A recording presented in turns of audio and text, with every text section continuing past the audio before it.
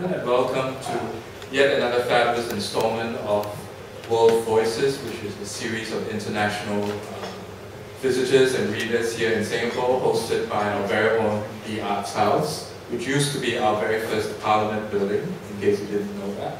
So you are in the presence of greatness, right? And so are we. We go far. Yeah, okay. Um, we have with us tonight a very, very special guest. Uh, I met him earlier this year uh, at the Stanza Scottish International Poetry Festival. And we had a lovely chat. That's in a podcast, you can look it up on Google. Just, just Google Ryan Van Winkle Alvin, something like that, and you, you get us. And I got to find out that he's based in Edinburgh. He's originally from the US somewhere, somehow found his way to the UK, to Scotland, of all places, and he's happily attached to the Scottish Poetry Library. Got a there, he runs podcasts, he runs events in Edinburgh. He's also a published poet. He's published with Salt. His collection, Tomorrow We Will Live Here, uh, is there, hold it up over there. And he's been picked up by The Guardian as a voice to watch in poetry. He does some really interesting things. Apparently, he pulls people into a room and makes them cry. He's pretty much at the cutting edge of poetry. We will just have a very casual conversation and reading tonight. We've had a few drinks, well, we had one. Uh, yeah, so he's had two. So, without further ado, please join me in welcoming here to Singapore for the very first time my dear friend and poet, Ryan Van.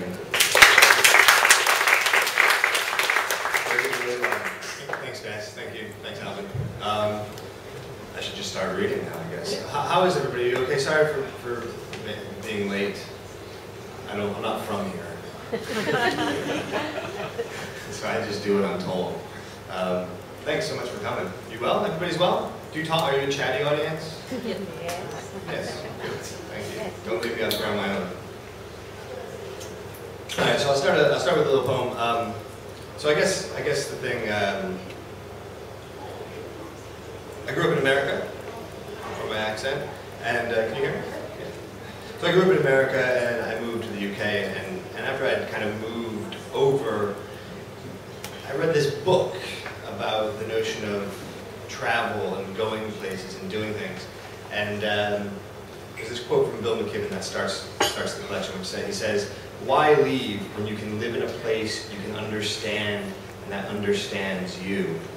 And that upset me because I had left home, and, I, and Bill McKibben kind of had, had this, this notion that in any small town that you're from or any place that you live, there's an infinite amount of stories and history, and isn't it wonderful, like if you're paying attention, there's no matter, there's, there's, there's an untold amount of drama and, and things that could be happening in the place that you are. You might not necessarily need to leave. And of course, I'd done that. And I started to question my own decisions. Um, so this first poem is kind of about that and um, it's called My 100-Year-Old Ghost. My 100-year-old ghost sits up with me when the power cuts, tells about the trout at Uncas Lake, the wood house burned on the hill. He says he was intimate with every leaf of grass, wore one hat for Griswold, another for his own field, the possibilities of the century laid out an endless string of fishing pools, but they never got ahead of my ghost. He took them like cows, one at a time, never lusted for the color of trout in a pool a mile away. He knew from the smoke in the sky Mrs. Johnson was starting supper and in March when the candles appeared he knew Bobby's boy had died. My ghost only ever had one bar, where the keeper didn't water his drinks, nor did he feel the need to hide his moth cap, his potato clothes, or scrub himself burnt pink. My ghost tells me there was a time you'd look out and not find a Dairy Queen. You could sit on your porch a whole life, he said, and never think about China. Sometimes I see my ghost bringing cut sunflowers to his wife, and it seems so simple. Then sometimes it is dark, He's just in from work, and Griswold says they ain't going to raise his pay. And even back then, the power went out. Long nights when they had no kerosene. And my ghost tries to sell me on simpler times, the grass soft, endless, lampless nights, pools of crickets singing.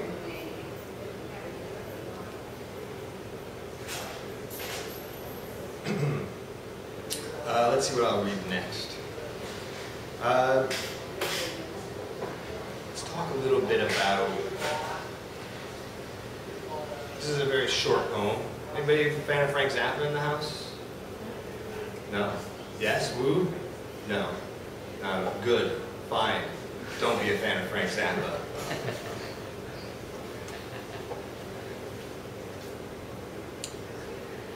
If you were, I'd have something to say, but I don't.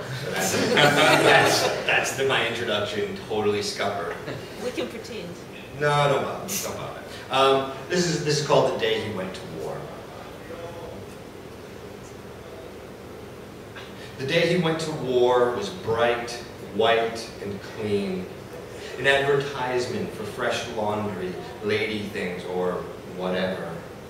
We watched him from Joe's garage, our music clanging, hubcaps and tin cans thrown against cement. We watched his mother watch the car that took him, saw her wave at nothing.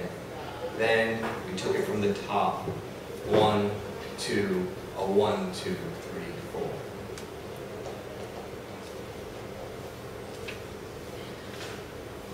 Should we talk about something fun, like, you know, let's talk about death.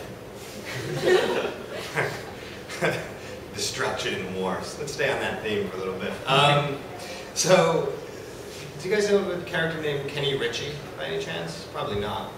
Kenny Ritchie was a, was a, a, a Scottish man. He ended up moving to America. Now, at some point while he was living in America, he joined the army. He was quite Americanized. Joined the army, and um, his girlfriend broke up with him. Now, I don't know what you do when your girlfriend breaks up with you, uh, or your boyfriend. Kenny Ritchie took maybe a slightly drastic uh, measure and burned her house down. with, with her in it? Well, no, even sadder. Unfortunately, unfortunately she was no. Unfortunately, there was there was a baby in that house, and that baby died. Now, he ended up on death row. Americans like death row. Uh, I guess, I guess some other people do too. So I don't know, and, and nobody knows, you know, and then Amnesty International really protested this whole movement, right? And went from appeal to appeal to appeal. And one day, was, I'm sitting in Edinburgh, and, uh, you know, it's raining, it's been raining, it's the kind of city where, like, it'll rain for just three months straight, you know? Uh, there's a reason it's very green. And, and, and there was a quote from Kenny Ritchie in the newspaper just before his last, last appeal, which said, uh, my dying wish is to stand outside naked in the Scottish rain and to feel it soak me. And uh, I thought, yeah, okay, maybe if you're about to be killed, that makes some sense. Uh, really, I'd just like to be dry right now. Uh, but I did think about it a lot, and so I, he ended up, well, I'll tell you what happened to him afterwards. Yeah, I'll tell you what happened. This poem will not give you any information or facts. Please do not mistake any of these poems uh, for information or facts. This is not the news. Ode from a, for, it's called Ode for a Rain from Death Row. The rain is a cold, clean prayer, the only light I want to see. I say it still rains on her like it rains on the bars and streets somewhere outside the walls. And in the rain, she is always 20. Her shoes always candy red Converse. Her jeans always damp to her thighs. Her mouth never parted from mine. She hasn't pressed her lips to glass since the fire. The ashes are back to ashes. The dust follows dust. The spring rain powders her arms and evaporates in the stare of the sun. And this rain is the only light I want to see. a mist that kisses till my socks are sponge, till the fire fizzles and baby is back again, cooing with hot chocolate warm hands. Before I die, I want to stand outside, birth naked, let the Lord soak me. But options and partings are gone.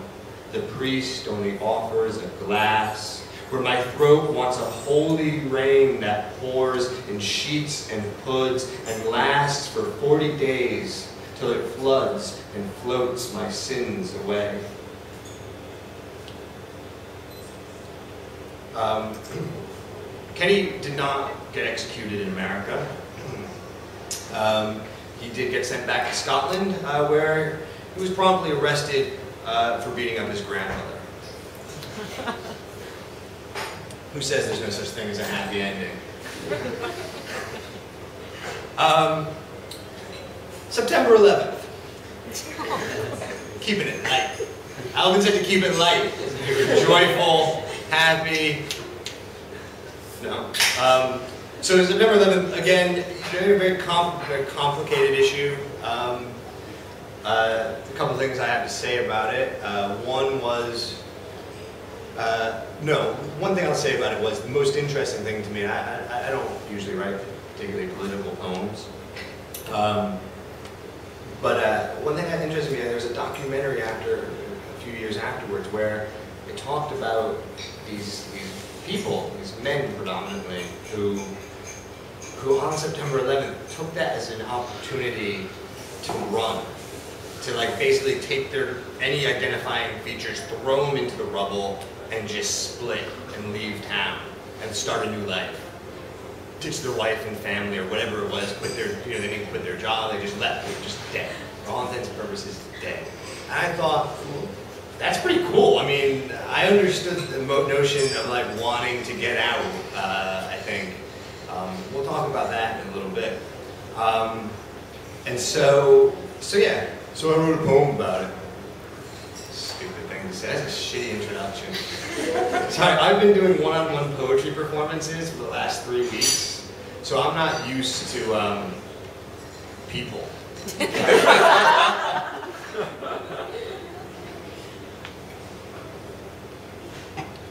This is called I Got Out When It All Went Down.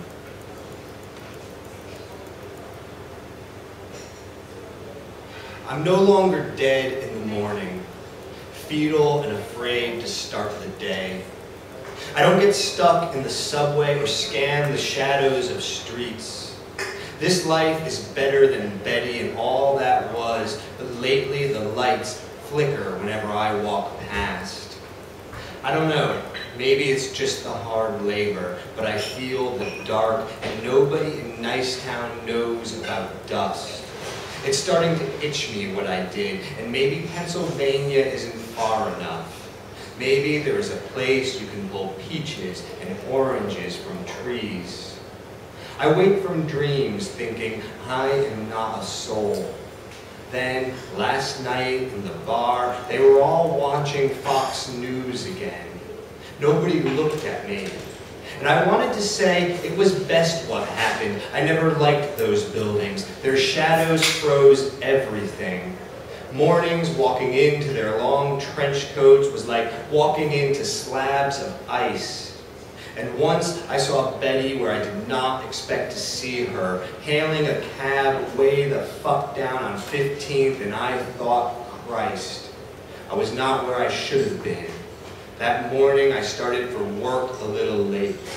Ditched my phone near the chaos, crashed at the Port Authority. And it is a small comfort that my photo hung on the walls with the murder, that maybe she'll have enough money now. I like to picture her going to that hole, the sun on her face and a new man on her arm, safe, thinking my bones are buried, that the past is the past is the past, and I am not coming home.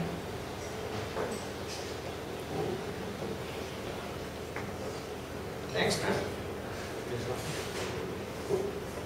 Um, is there another poem? Does anybody want to say anything to me?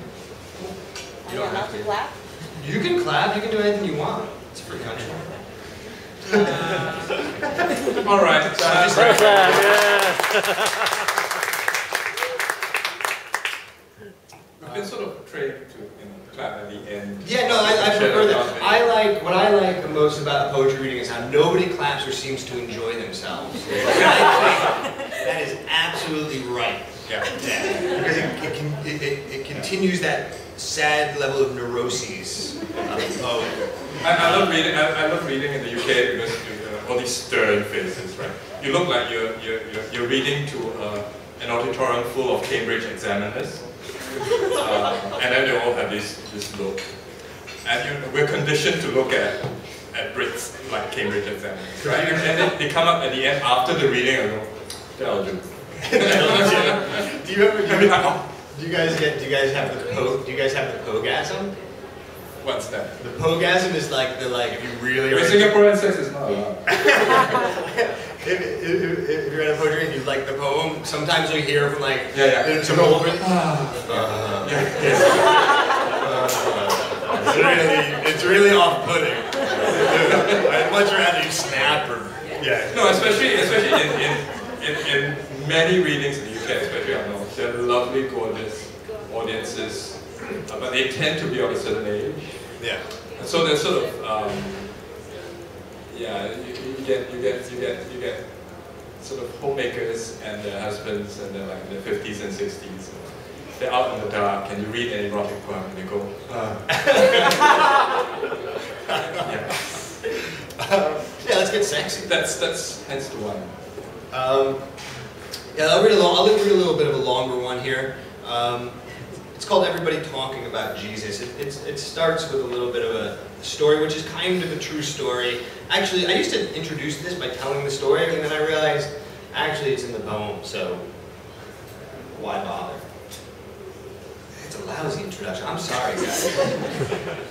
Yeah, that's the last time I'm picking up the drinks before reading. I needed more. I think I probably just needed more. All right, everybody talking about Jesus in three parts. One, I got a girl up the attic. The summer I turned 10. Her shirt went damp, and we played a game where I'd strip and she'd slap my calves with my dead grandma's cane. One afternoon, she took my clothes and left me up with the heat and the dust, mothballs fermenting like apples. I was nailed in. She had lunch or baked bread, played nurse with her dolls or something. I could hear my mother, her vacuum scowl. I saw the sunlight snatch the shadows, heard my father slam the door. After the third hour, the girl rose with my clothes and a switch from her yard. I was so happy I took it all, her arms sweating like horses. My father and sister never knew, but in that house, noise always dried like palm.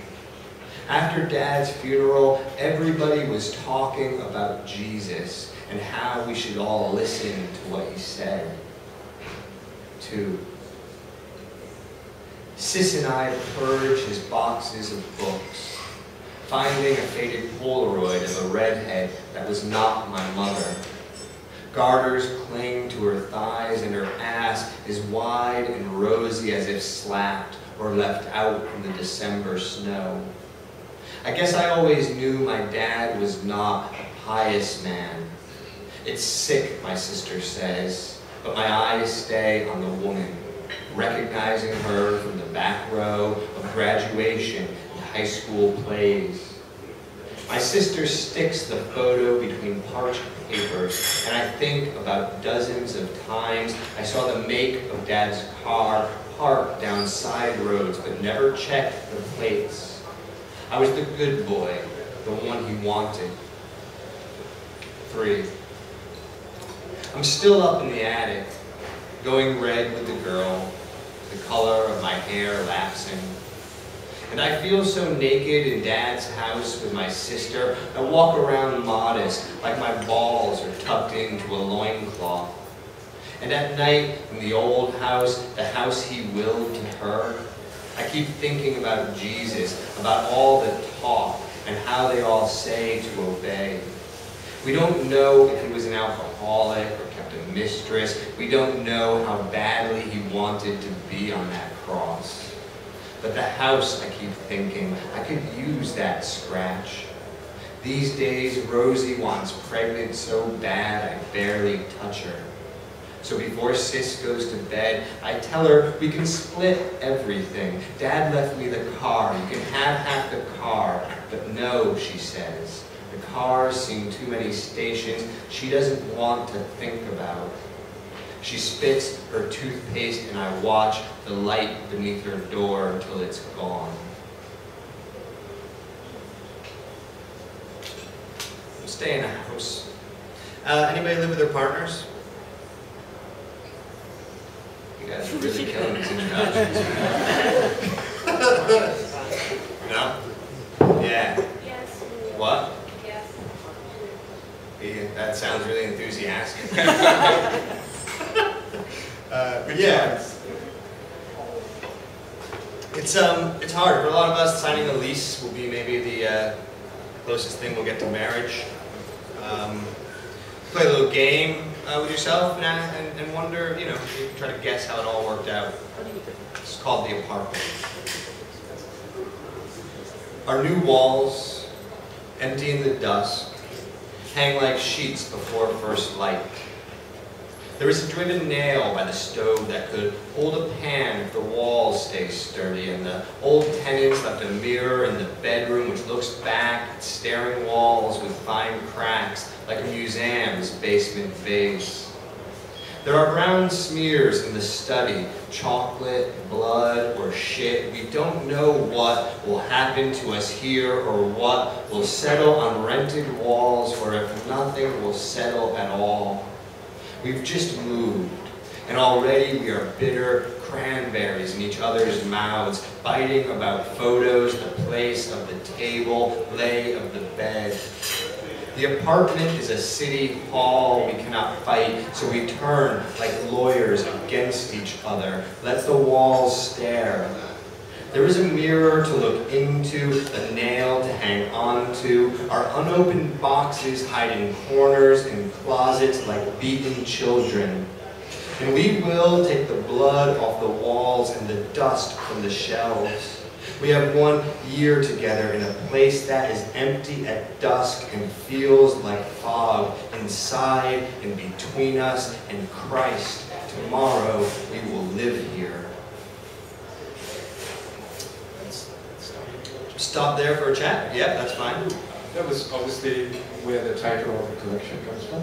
Yes, it is not, as somebody thought, a, uh, a first, somebody read it as in, tomorrow we will live here. Like, yes, that, I don't know how he came to that reading. Um, I obviously didn't do my job very well. No, but, but there's also the sense, I mean, coming from where you came from, going to where you uh, there's also the sense of picking up, packing up your bags and moving to a different place, a different and, and obviously to some degree uncertain life. This, this sense of picking up and settling down somewhere else. I mean, that's surely part of, of your writing as well, I of think- the book. Yeah, I think this book was very much me trying to understand. My dad said the worst thing in the world to me once. Uh, he said, you know, when I was your age, I always wanted to have a nice house and a wife and some kids. Uh, now I have those things. Yeah, I don't really care for them that much anymore. and uh, and I think you know that was, that was really the spirit of me writing this book was like this notion of like the decisions you make. There's a lot of men in conflict with characters in conflict with like the decision they had made, and they weren't sure if they were right. You know, and I don't think we know until we get a little bit of perspective. And of course, by that point, it's kind of too late. And I kind of really felt that. I think like having moved, I think that amped up that that feeling. And, and I was just struck by the number of poems you have about houses and property. Uh, housing and property, they're big, big things. Uh, existential questions here in Singapore in particular. You know, 80, uh, you know, we were talking on, on the way here, I was telling him about over 80% of, of Singaporeans live in public housing. Uh, what I didn't tell you that in order to get public housing, in order to qualify to buy public housing, you have to be a family unit. That means you have to be married or over 35 single, or living with parents, etc., etc. So you have to form a family. So, so getting a house isn't just about getting a house. You have to settle down into some sort of record, socially acceptable shape. Yeah, you have to Uh, and then, and then, yeah, exactly, and that, that plugs in very much too. You, you have to make those decisions fairly early. on. Yeah, it's really hard, right? Like, it's a really, and you just don't know. You don't know. And you're young and you have no clue about whether or not you're doing anything right. And I was in a relationship and we were both like, we should move in together. That's what we're supposed to do. And yeah, it was a total failure. Was that what I brought know, it wasn't mine. Was that what brought? Was brought you? Was that what brought you over to the UK? No, I thought New Year's Eve in 1999 was going to be cracking. I thought, I heard that in New Year's Eve in Scotland, people will make out on the streets. Legit. So I thought for 1999, there'd be full-on bodies moving around together. And uh, Writhing down. yeah, I thought it was going to be a huge and it turned, it was mostly just urine and vomit. bodily fluids. A lot of flu, lot of fluids, but not for the right reasons. So what was it like uh, moving from from the US to the UK? For the first couple of years, must. What what what did you have to change your mind about?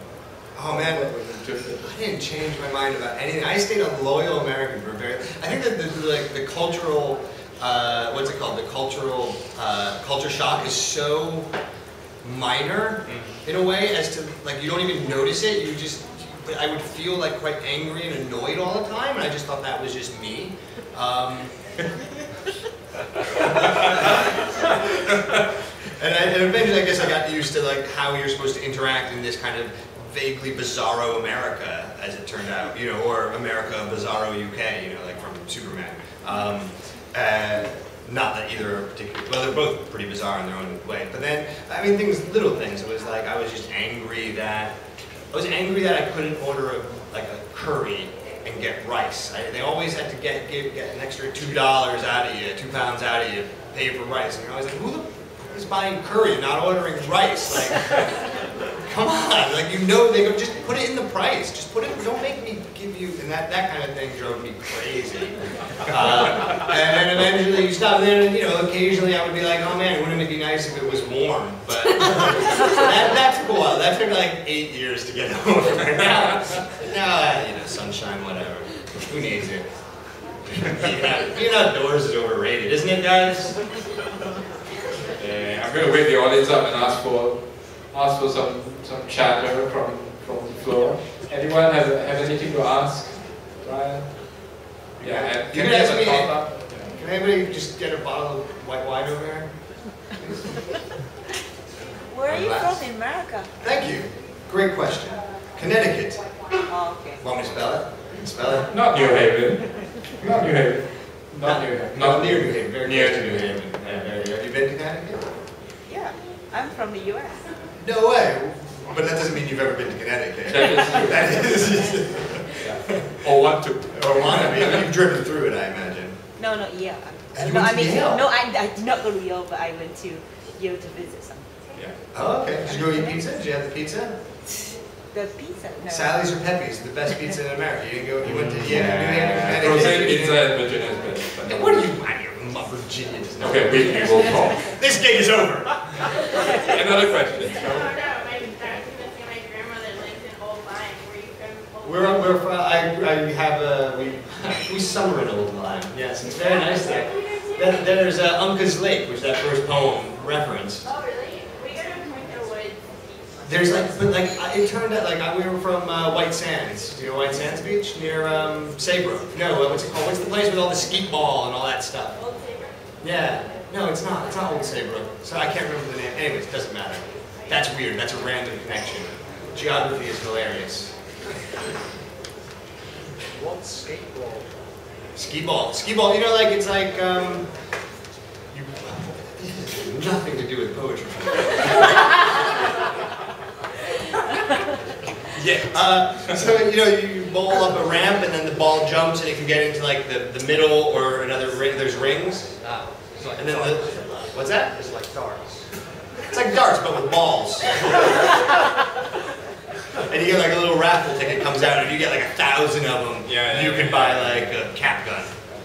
we we have fun fairs where we do that. Yeah, yeah. Is it called ski? Is it not called ski? No, no, no. It's called a rip-off. Yeah, it is a real. Yeah. Yeah. How, how, how do you define creative poetry? How do I define creative poetry? Yeah. As opposed to uncreative poetry. I guess anything that's not plagiarism. How? Is everything plagiarism? No, no, there is definitely not everything is plagiarism. Yeah. Everything is borrowed? Everything is borrowed. Borrowing is not plagiarism. No. Yeah. Borrowing's not stealing. I just Yeah. want to ask, like, um, I mean, this is a poetic question, but what kind of poet do you see yourself as? Like, your style of writing, how would you define yourself? Creative. Oh wow, I was, I was really hoping you wouldn't follow that sentence. I could just say handsome. uh, um, I don't. I guess. I guess. Uh, what would you define me as, Alvin? You find it more than I do. I'm, I'm pretty stupid about these things. Published. Yeah.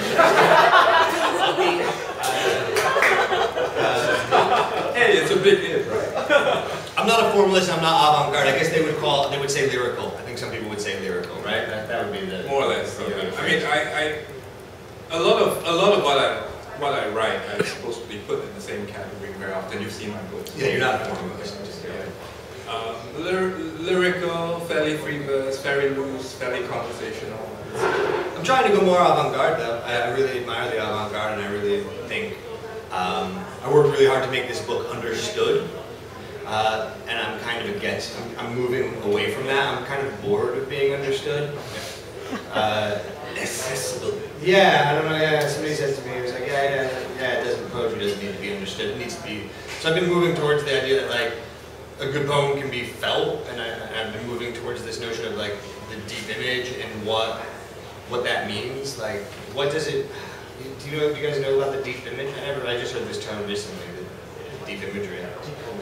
No. It's like it's a good example of a deep image. Like your sorrows will be carried on the backs of ten thousand mice, all and sung on and sung in in, in the throats of uh, the Tu- the Tuvian throat singers or something. Like it's an image that doesn't make any sense, but it feels like something. You know, and you can kind of understand it, but you can't understand the way jazz works. I guess. Is it language poetry? Not necessarily. No, not necessarily, but yeah, because, language poetry because awesome you, you can you can you can do the image. Uh, I mean, Tomaž Šalamun does a of that. It can be lyrical. It just doesn't appear to make obvious sense. It's almost surrealistic. Uh, and it makes uh, it makes I suppose an unconscious or psychological sense. Possibly. Robert Bly. Yeah, Robert Bly had a great poem. I can't remember now what it's called, but it's a good one. So I, I'm, I'm going to get. Uh, we've got a couple of questions, but just remind me to read one of those newer poems. So we've got that ready. Sure. Yeah. Um, just to give an example of what you mean. Uh, but we've got a question over from the back, from the London Hello, Russian hello, lady. back. Hello. Hi. Um, I read like an article about the creative processes of different writers. Like Flaubert used to take hot baths, and then the others used to breakfast with opiates. And maybe you have something you could share with us, so we could also benefit from that. I just try to get really sad. Really? Yeah. Yeah. No, I don't have like a. I, like, I don't know. I drink a lot and, and I get high when I can. Um, can I say that? Yeah, you're sorry. You live in Scotland. I, I'm not gonna give you my address, ma'am. um, yeah. Uh, what else? What else do I do? Yeah. No, I do. No, I do nothing. I, I don't force it, and I don't think. Of, I try not. I try not to. I try not to think about it. Frankly. Um, I don't know if you are different, but I'm not meticulous about my creative process. If, if I want to write something, I write it. I try to think, listen. What what I find is that there are some things that often work for me and rituals, partly because uh, writing a novel is a marathon, not a sprint. Poetry is a little bit more of a sprint uh, in that sense. So now let's need to sort of plug it. Agree with that. Sorry? Nothing else profound would agree with I. I mean, I mean, I think reading. Well, who cares what Ezra? He's dead. Um, uh, you know, like um, Mary Ruefle said, she just listens for the knock. You know, and, Yeah. and and I think that's the best thing you can do. And I try to write as much as I can. I read as much as I can. I think reading really helps.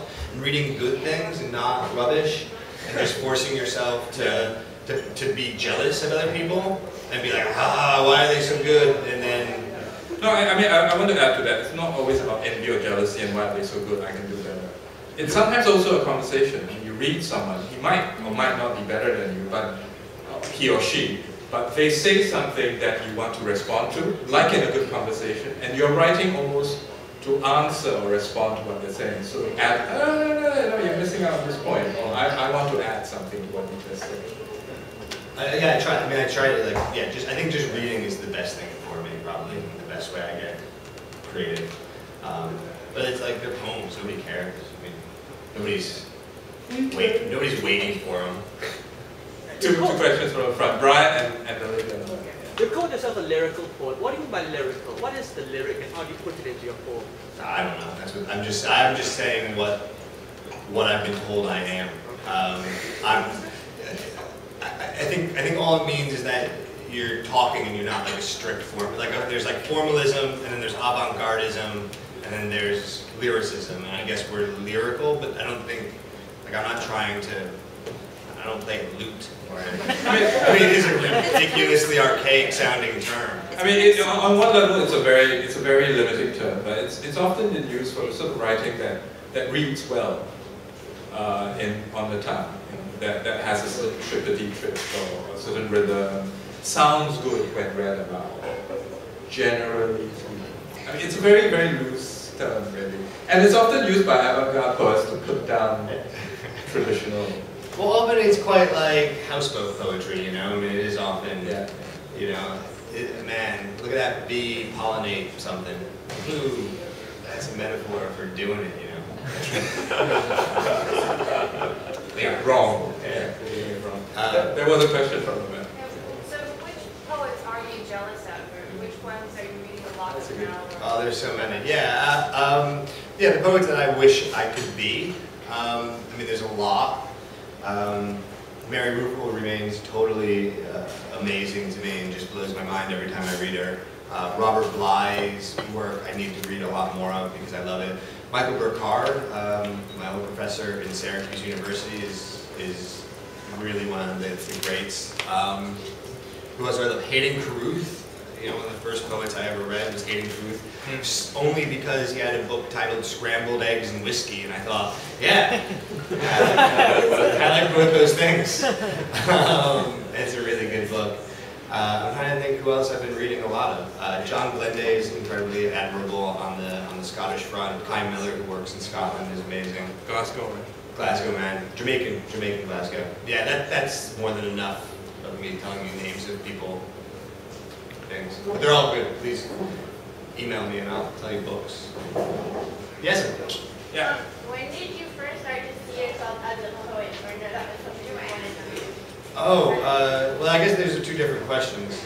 I wrote poems for a long time without thinking of myself as a poet, and I only call myself a poet now uh, because uh, they put it into my job title, and Imagine that. and and also once on a lark going through uh, border control in um, from Syria to Lebanon, I wrote poet on my little, thing.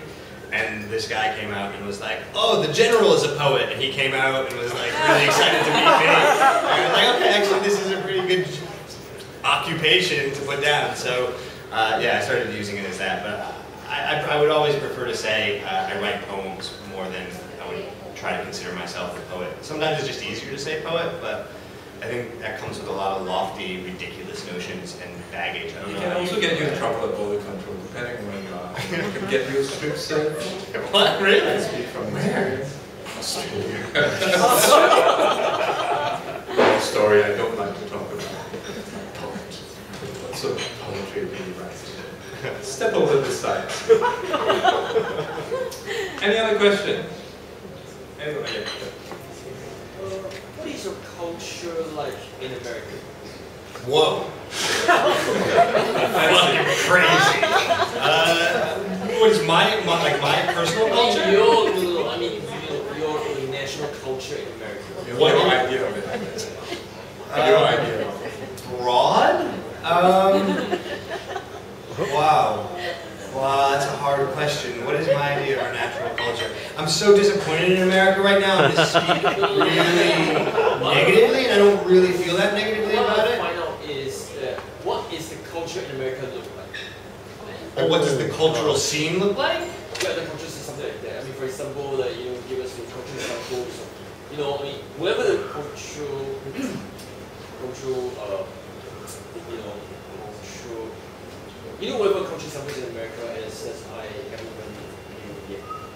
The thing about, I guess the thing about American culture in terms of like production of art, I don't know if that's what you're talking about, but is that what you mean? Like, like it's, it's, it's scrappier and more intense because there's not a lot of support and it does lead to some really vast amounts of innovation in a really interesting way. I think that's really good thing, but you have to get there through a very hard road and you have to starve and you have to find, and sometimes it leans commercial, right? It's a little bit too commercial and that's because people need to make money to pay rent because there's not gonna be welfare, there's not gonna be social security, there's not gonna be anything that's gonna help you, there's not grants, particularly, you know, things aren't particularly well funded, so you're gonna pay and you need to get tickets and bums and seats and people to buy your book.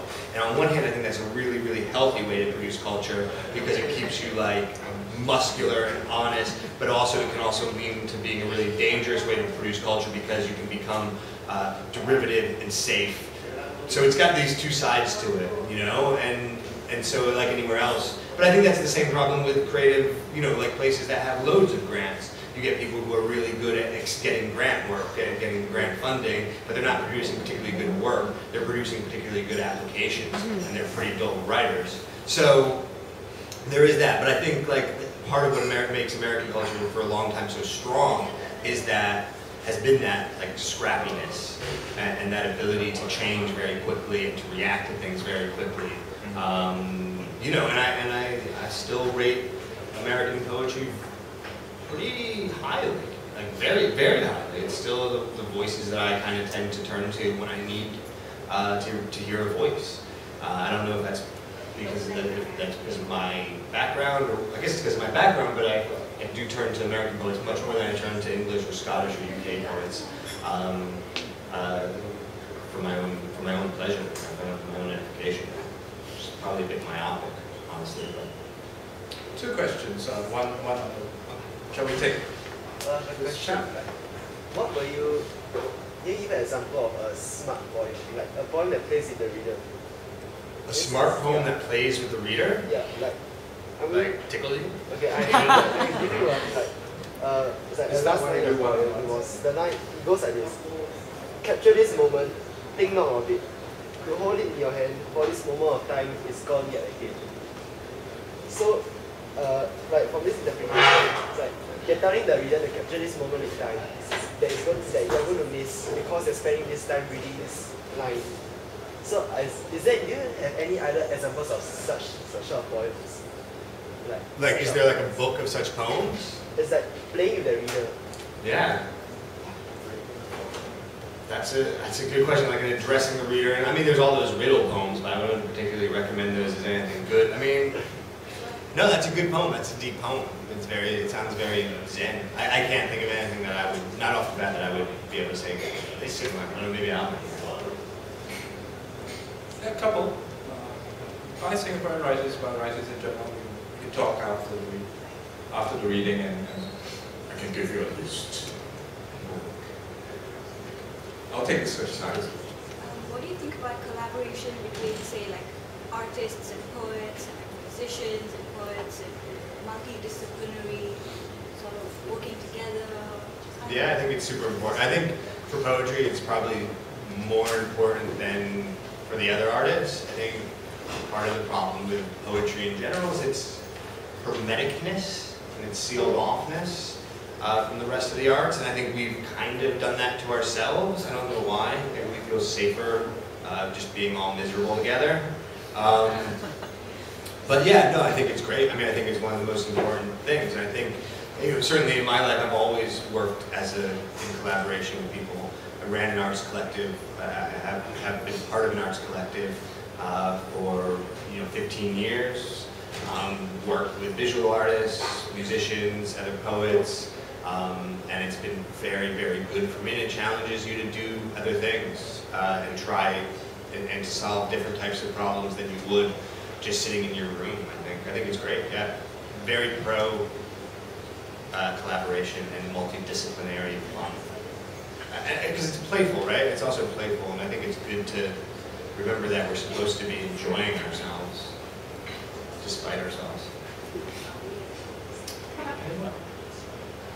They just keep coming, don't they? Just people never Told you, I told you, raise their hand. Yeah. Okay. It's okay. I, was, I was just thinking, you were telling us about how you wanted to move your own poetry towards a more deep image, visceral, feeling kind of writing. But have you had other such impulses before? Do you consciously try to move your poetry away from being something to try and occupy a new space? Yeah, And yeah. can you tell us more about the experience? Was Yeah, maybe successful? give some What did example. have do? Wow, yeah, that's that's good. Um, yeah, I guess I have had that experience before, but but I guess I probably I can't think of it. I mean, the experience of doing this is like I just basically, um, you know, what happened. I wrote a book, uh, finished a book, and it felt done. And I think, you know, when you get that book out, you have a choice to do the same thing again. And I've always admired artists who evolve, I guess. Yeah, evolve. You know, you know, and the reason we get sick of our favorite bands is because they put out their third album and it sounds like them kind of doing their music but not as good anymore.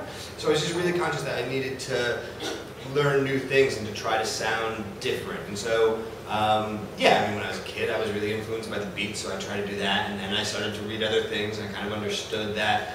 I don't know. There's this whole compression thing, and you can you can really make a really tight poem. Uh, and that seemed to suit this work because it was all about, like after the fact, I started to understand why I was writing. it. Is this really boring for people? No. Okay. Um, 'cause I can talk about this for way longer than I should. Um, just throw something at me when you're bored. So, you know, for, for, for, for, a bunch of characters who can't talk about themselves or talk to their partners or their children, um, they, that kind of compression seemed to make sense, right? Uh, that, that make, you understand that? Like, as in, like formally made sense to, to do. So I understood why I was doing it. I controlled it. I could be in control of it. Uh, the next book, you know, I kind of went through, uh, uh, you know, pretty rough breakup. Um, and, you know, that kind of notion of compression didn't exist for me anymore. It was a spiral and a swirl and a, uh, you know, that, you know, like when you go through some kind of trauma, that gerbil in your brain keeps running around on the wheel and you just keep thinking the same thoughts and it's fucking crazy. So I wanted to, the poem started to reflect that state of mind. The form started to, does that, yeah? And so I wanted to open the poems back up and to allow that madness and that craziness and that kind of shaky terror, worry, heartbreak thing into the work itself. And so that is a conscious decision, uh, but it also was unconscious and unavoidable because I couldn't at that time have written a very concise poem about my heartbreak. It's, it's interesting you say that because I had a similar experience about the past couple of years, like five years. Not, not, not the trauma necessarily, but two things. One is encountering Eastern European poetry. And it is often not, not compressed, quite, quite deep images, uh, quite all over the place, quite fragmented. And that comes both from their history and from the games they're trying to play, language against senses, against history, against politics. That, that was one. The other thing was I, I reached a point, having done, having done a book of lyrical narrative, so, so to speak, that, that it started to feel irresponsible to depict the world as it made sense, because it, it actually. Um, and, and in a sense, it was it was it was pretense. I mean, you know, it really doesn't always make as much sense. You know, a, a, a line a line like what you just said. Uh, my, my love comes on two camels, sung sung by three horsemen or whatever. Uh, on some level, makes as much sense as describing in painful and, and uh, minute detail uh, what you have for breakfast with your lover. And they're both beautiful. I mean, they're Yeah, both exactly. beautiful and things, and, and, and I'm just hopeful. And I just didn't want to do the same thing. You get bored of yourself, right? Yeah. You get bored of Yeah, yourself. there was you get that. bored of writing the same thing, and you're like, ooh, I wrote all the good poems that I can write in that way, you know. And you know, you have to move. I mean, all I think all artists have periods. That's why. You know, you read about these art, especially in visual arts, right? There are periods of where they're doing one thing, they just work, they work that seam until it's over. And then when it's, they're dried up, they move on to another thing. Tell us a little bit about that, that one-on-one thing with your masters and all that, that you've, you've been doing that, you know. Yeah, I guess that ties into the successful. multi Yeah, exactly. Uh, I have two little like one-on-one shows. The first one is called Red Like Our Room Used to Feel, uh, which was started out as a CD of collaboration I did with a friend of mine. I have these very soft poems I wanted to read, and I didn't want to read them to people like you. Uh, because, no offense, man, I'm sorry. It's impersonal. I meant you as an aggregate, not you personally. I didn't want to read them in a crowd. I think when I'm talking to a crowd, um, uh, frankly, I really, really want you to like me. Um, and that changes the way, the way I read and present my own work.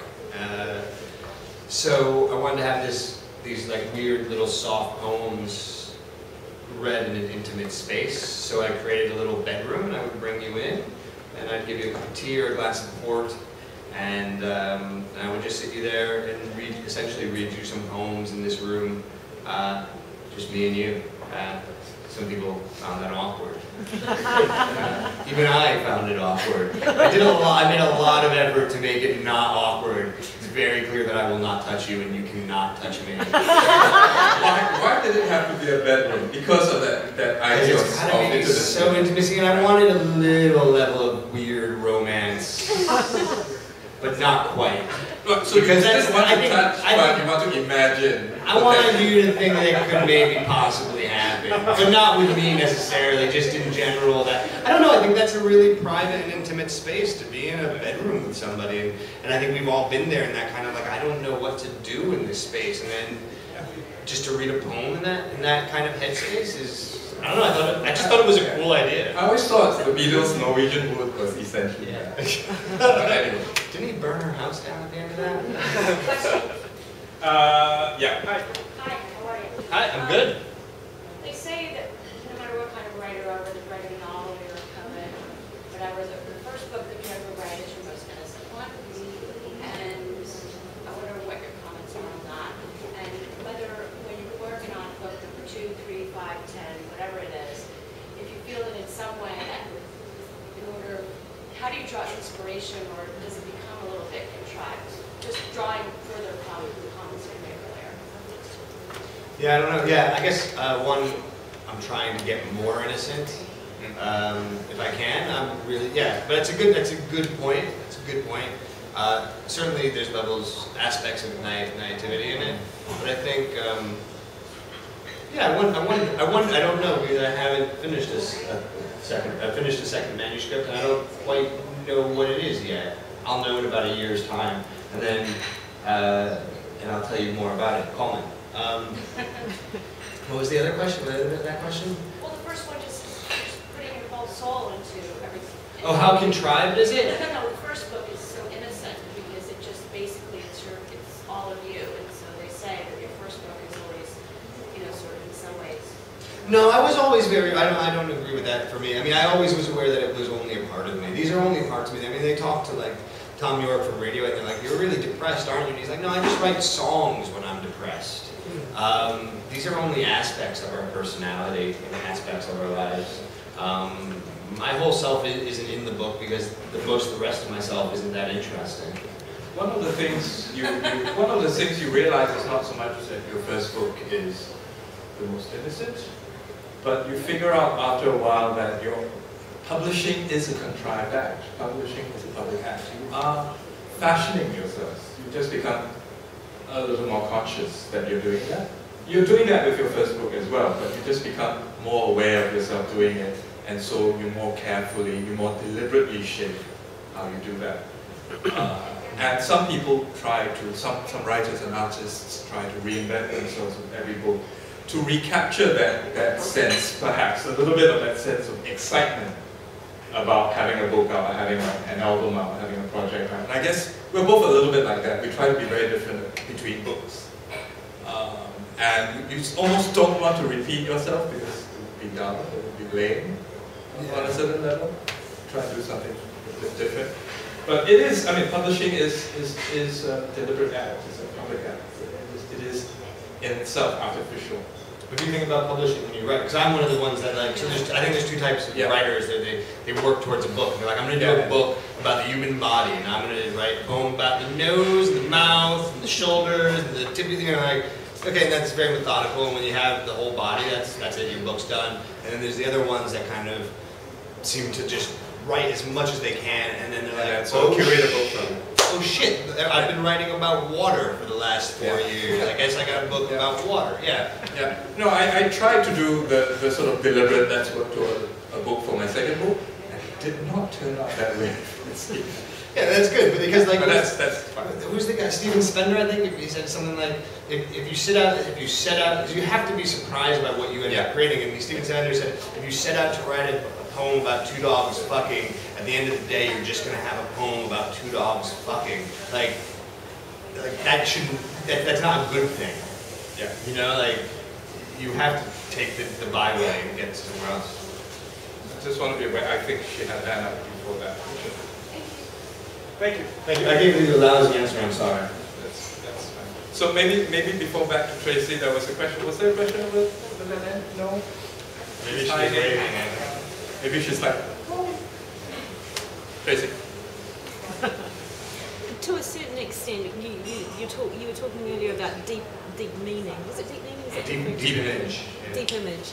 It can, to a certain extent, you, it would be difficult to get to deep image without vulnerability, without allowing yourself to be, to be vulnerable to kind of, as a step, is a further step from naivety, would it not?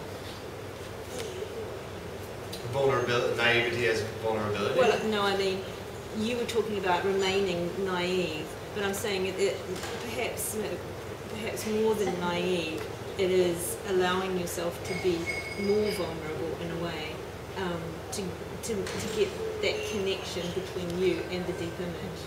Sure.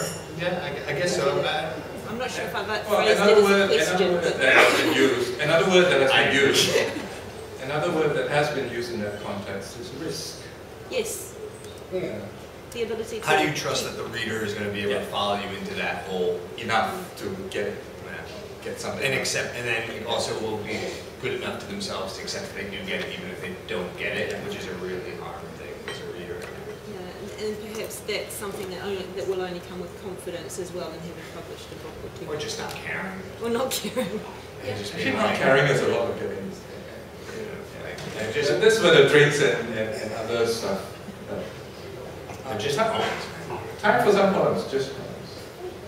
Um, some old stuff, some of your new stuff. Yeah, it should be. All right. I mean, I was gonna read. I'll, I'll read two old ones, uh, two more old ones, and then uh, you know I'll read a couple new ones, and then you can tell me. I mean, how what level of bored are you and tired are you guys? On one on a scale of one to ten, zero, zero being the most bored and tired. Right, let's do this. Let's do this. Let's give him a round of applause and we'll give him his encouragement measurement. That's right.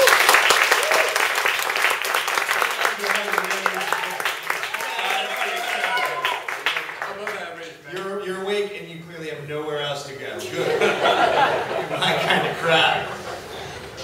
All right, let's talk about sex. Is that okay? Can I do that? So, um, all right. So, um, yeah, this is gonna sound like a, a, a dirty poem. Um, I want to assure you that it's uh, deeply sensitive. Um, I hope it's also very. it can be vulgar. Okay. I, would- I would, say you can go as far vulgar, but I assure you at the end, deeply sensitive. And um, uh, I don't know, it's about language, which I think is something that's always interesting uh, in a foreign country, especially in Singapore. Um, and um, yeah, uh, I don't know, maybe I shouldn't ask you guys this, uh, but yeah, I mean, you know, like you're in a relationship, right?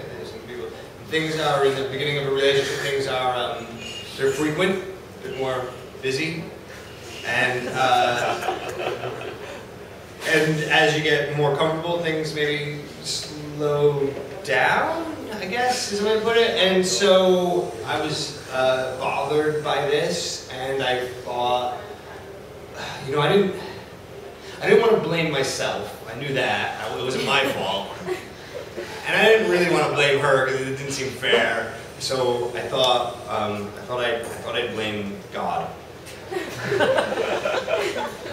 Because That's what he's for. he's got to be good for something. oh god, blasphemers. Uh, this is called Babel. Babel. Our good sex was building a Babel. We were fucking our way up the tower and God saw us coming. And so there came months we could not fuck. We remembered the tower as it was written, the people God slung all over the earth, speaking incoherent to each other. As we do when you moan the dishes, say I don't listen. And when I say you cut the bread crooked or oversalt the pasta, you hear my words as Greek. And I know our sex was looked at, and the Lord said, Look, they are one people, and they have all one language, and this is only the beginning of what they may do. And so you come to me at night, and some nights I come before you, humble flesh with a different tongue.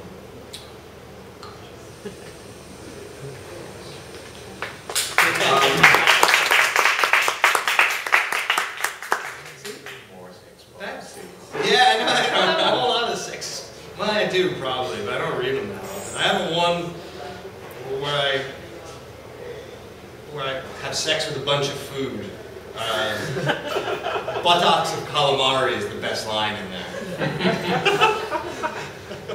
I'm not gonna read it. I only read that when Yeah, but- everybody's been drinking as much as me. It's not. um, yeah, I used to. Um, uh, I, I thought I always thought that, that that if I met Virginia Woolf, uh, we could have dated, and and maybe what? She's lesbian. I know a lot of people have told me that. that I I I don't mind. I, I like lesbians. Uh, I don't know. I mean, maybe, maybe, it's a fa- it's a dream, okay? I have I have I have heard that. Um, but yeah, I always thought that. And, and have any of you guys ever read that Lester Bangs story? No, Philip K. Dick story where Lester Bangs and Janis Joplin get together, and then they, neither of them die. No, it's a really nice story. this is kind of like that.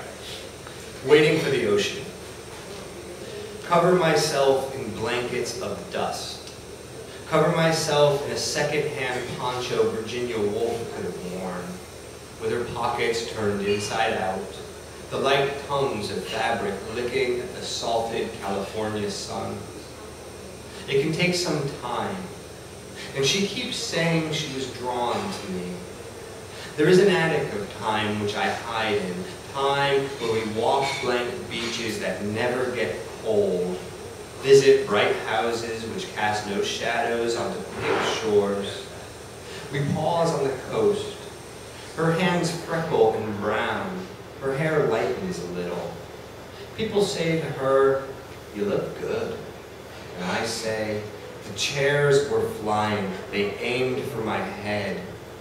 And I say, I was drawn to you by the chairs. And she understands and never calls the weather mundane or melodramatic. And the ocean stays in front and below, unknown and living with us.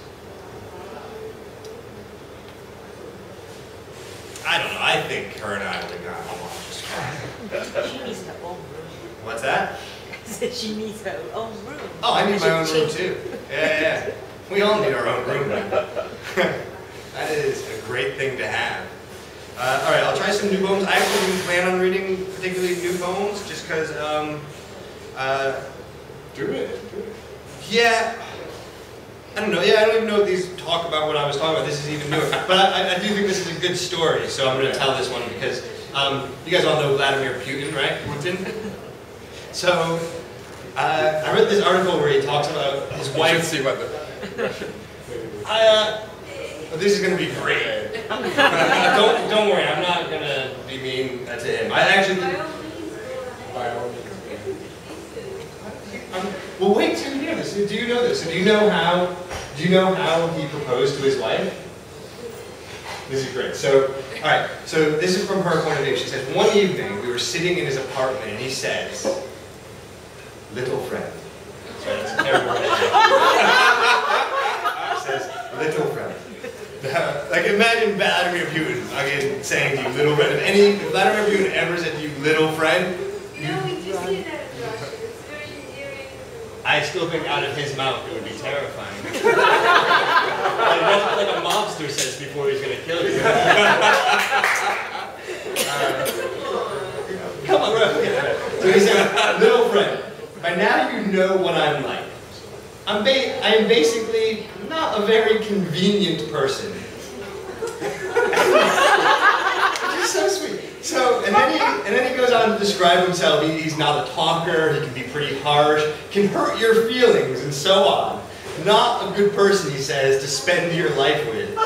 And uh, and he says so. He says to this woman. He says to, to Ludmilla. Ludmilla, yeah. Uh, he says to her, over the course of three and a half years, you've probably made up your mind. And uh, and uh, she thought, oh man, we're totally breaking up.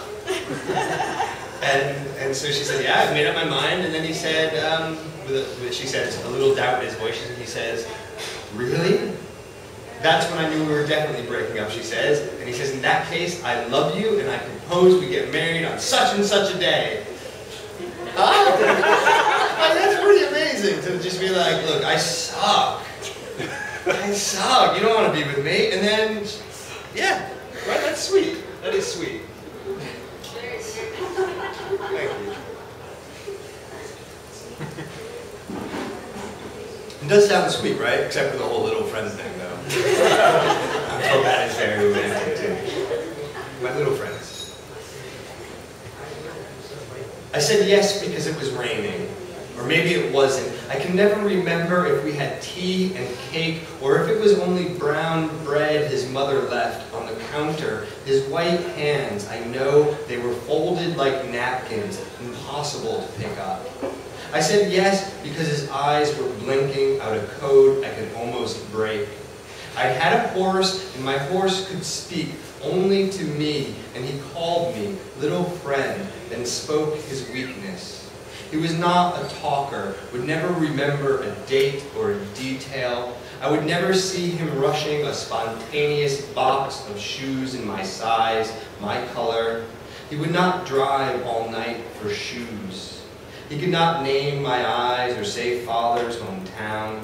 He could not guess the road to the hospital, name the women on my shift, and he promised never to say again what he'd say, breaking a piece of bread, forking a cake, or whatever he did, his eyes blinking, definite, his hands slowly moving across the table to me, like horses, like quiet and shy children, like flowers opening in spring, budding and shaking in slow motion, there on the table, his secret hands of paper, his magazines of ammunition, his strong, lonely hands begging me to say yes, and his words saying no, saying he was only a man and not a good man, not a horse I could break, but one that would stand by my side, loan me a back as I needed. That wasn't too mean, was it? All right, let's see. Um, I, I had this. Um, I have this um, show where I give you a ViewMaster, like a little. You know a ViewMaster? Do you guys know ViewMaster, Jack? That little red plastic things. And um, and, and we have four slides, and I can take you either to, to Mecca, the seven wonders of the ancient world, the River Nile, or Tulip Time in Holland, and then you get to sit in the little ViewMaster for about five minutes while my friend plays a little live soundtrack, and I read you a little poem. So um, imagine you have a ViewMaster on your face or something, maybe, or don't. Um, this is called Mecca. Every day, five times, stare ahead and bow. Paradise is out there, not at the shopping center, but walking around the center, wearing a two-piece like anyone else, thirsty hair on your open chest, searching for water, the striving fast, walk fast, the desperation, fast, walk fast, till you turn and find yourself there. Shops close and men fold their wallets. Our streets are for worship again. Do you have the word God in your vocabulary? Or do you have a secret place where you hide what you won't call sin and couldn't call trust? Or do you shoot your sorrows down a glass slide towards a thousand taut and pink trampolines? Don't ask where I'm coming from who is my father. I am always uncomfortable in a crowd, could not hunt, cut trees, or fight. We all forget death is on every shoulder you can stand by. I have stood shoulder to shoulder with a hundred other men, and knew, as we all know, the best smell is bread. You cannot always say goodbye to those you love. You will never get so tired of suffering. Each one as brother will stop and rest. Should God want my soul, he shall have it. You're a good man when the sun is set. God doesn't look at your eyes, your shirt, the color of your skin. God looks for your heart. Very lonely. The real point is to sleep again under stars. Last poem, thank you. That's the right answer. I'm tired myself. I don't know how you feel.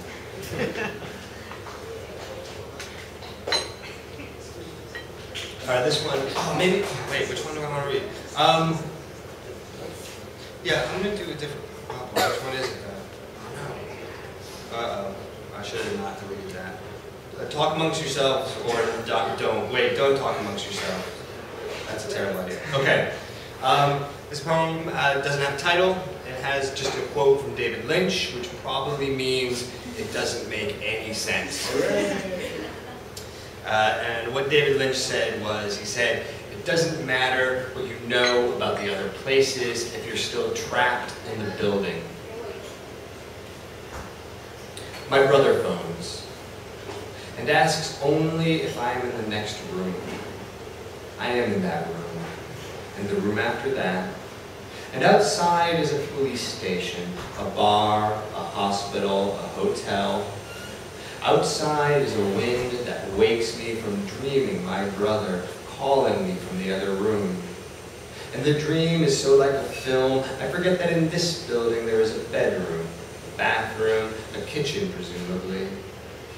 In my stirring, all I expect to find are corridors that connect as a groin connects. And for months I think about other places, as if I know them as I know my brother. I think about the bars and even at times the lines on the streets, and once or twice I believe I can depart the building. But I only find corridors, never the hard bush of the hills or the wind of the valley. And eventually I will forget other places. The medicine store, the meat store, the windows of hair cutters, and I will make an acceptance of here of the coins which have left circulation. And on that day I will not dream, my brother, but will speak to you of love for my building and what I have burnt inside it to stay warm. What fires I have made of myself and yourself and the mattress we slept on, the pillow beneath your back, your forgotten hairs and brushes. And I guess I shall forget you too, and the night when my brother phoned from a dream, and how on that night I knew you were no longer places I could even imagine. And therefore it didn't matter, or I didn't matter, and I want a glass of water now, and a hallway that is not a groin, and a cat to cross my shadow and there will be a day I'll depart to all that the world is. I will walk from asylum like the Indian in that film where he walks in white to the end of the reel towards a fog which he may think, he believes, he knows. Ladies and gentlemen,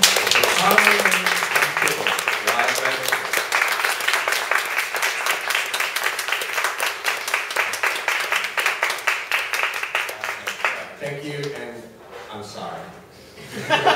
You're welcome. Right, uh, Ryan, Ryan will be hanging around.